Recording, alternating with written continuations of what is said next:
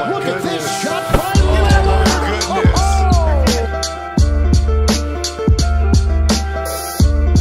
with five different teams, including the Hawks. In his first stint with them, Rose up and under, bang shot. Oh, sweet play from Derrick Rose. It's been impressive. And, you know, th- it's what playoff basketball is all about.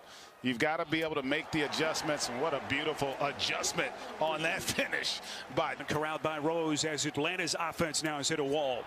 Here comes D Rose to the cup, puts it down as he goes glass.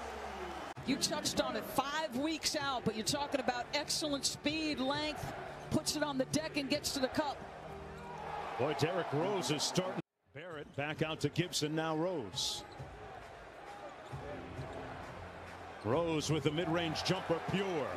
He's creating excellent shots for his teammates, right? Trae Young's passes are on time and on target. Guys are just missing shots Gibson inside doesn't miss on that one. that Hill just had. But listen, you'll take the three. Huerter is excellent shooter.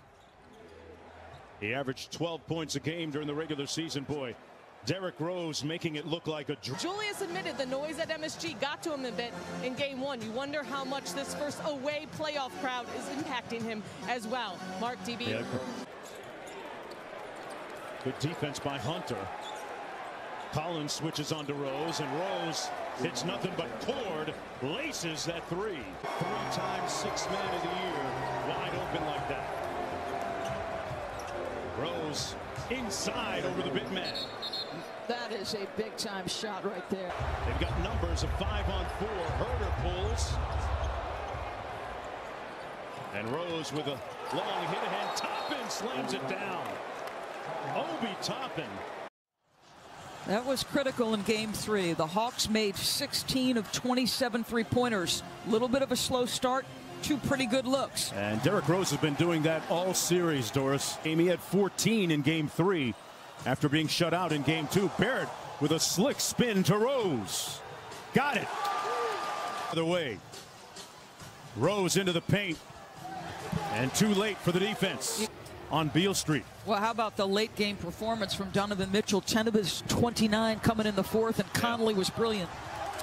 And a nice read by Rose to find Gibson. just a terrific compliment to Trae Young for this Hawks team. Bogdanovich, their biggest free agent signing. Look at Rose going right through that Atlanta defense. Six for Clint.